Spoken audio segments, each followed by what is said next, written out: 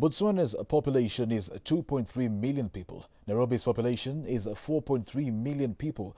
Botswana is bigger in land size than Kenya. Well, it's time to join our crew of Kibiso Mulanda, Jidrof Mbogo and Calvin Ogola, who have just returned on a whirlwind tour of the Republic of Botswana on this first installment of a series of captivating features on this gem of Southern Africa.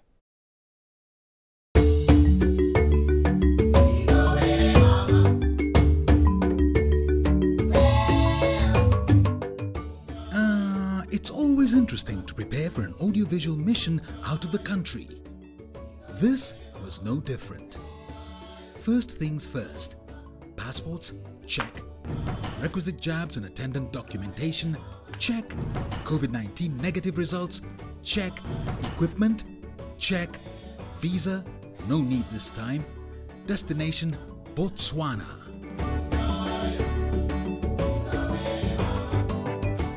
Before we get ahead of ourselves, let us get to learn a few things about our destination, right? So, the Republic of Botswana is a landlocked country in southern Africa. It is bordered by South Africa to the south and southeast, Namibia to the west and north, and Zimbabwe to the northeast. It is connected to Zambia across the short Zambezi River border by the famous Kazungula Bridge. Botswana covers an area of 581,730 square kilometers, slightly bigger than Kenya at 580,367 square kilometers. Now here is where it gets interesting. Very interesting, I must add.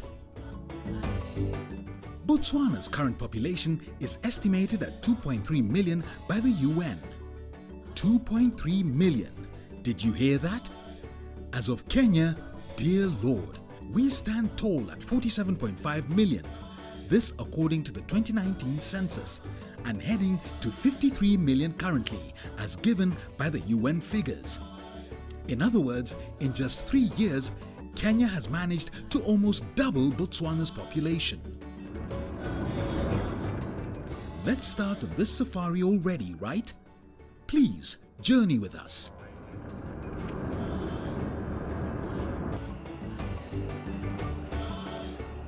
Today, we delve into the sideshows. Our itinerary will lead us to Johannesburg, South Africa first. We will then connect to Botswana after a five-hour layover.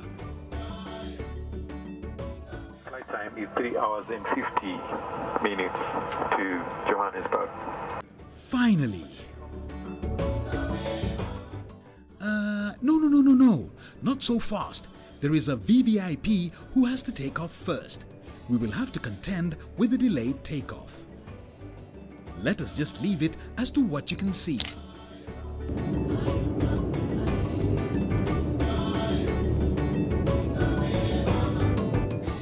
We finally take off smoothly into the beautiful Kenyan skies.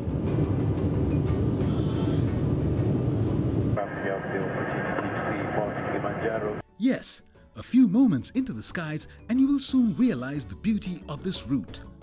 Mount Kilimanjaro is the highest mountain in Africa and the highest single freestanding mountain in the world, standing at 19,341 feet above sea level. It is a view to marvel, and everyone is busy snapping away. And that is not all. Moments later, overflying the Malawi skies, you can't help but enjoy the view of Lake Malawi. With more than 1,000 fish species, Lake Malawi has more distinct fish species than any other lake in the world. Three and a half hours later, and it is time to land at the Oliver Tambo International Airport.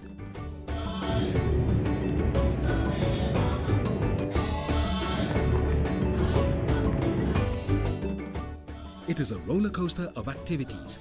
First, navigating the expansive airport.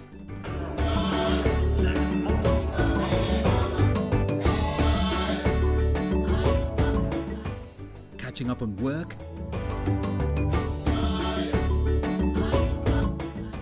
The five hours seem like a few minutes. And within no time, we are airborne again. In this small, almost medieval times craft, It'll take us 50 minutes.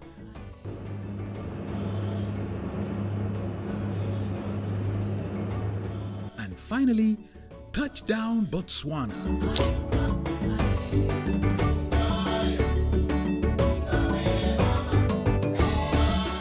Gaborone is the capital city of Botswana.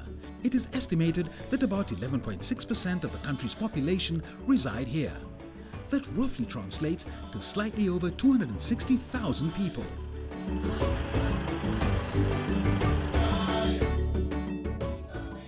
Let us draw up some comparison here as well.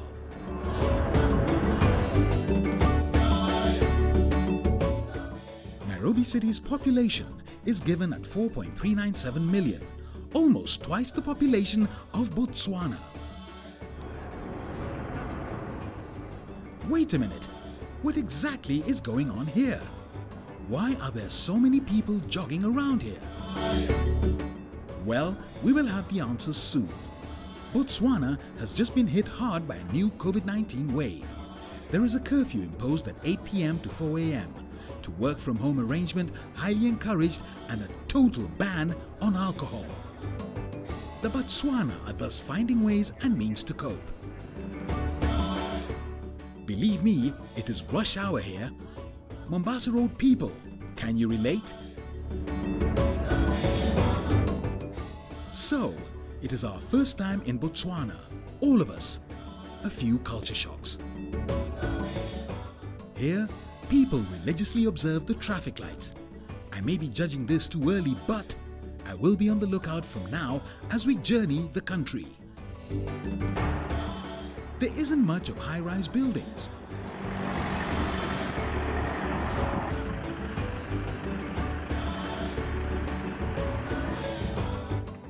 Then there is respect for pedestrians.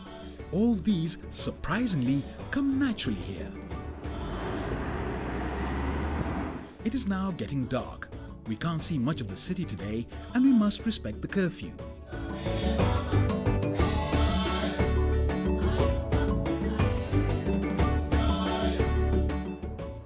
Gaborone has such a rich history. It is named after Chief Gaborone of the Tlokwa tribe who once controlled land nearby.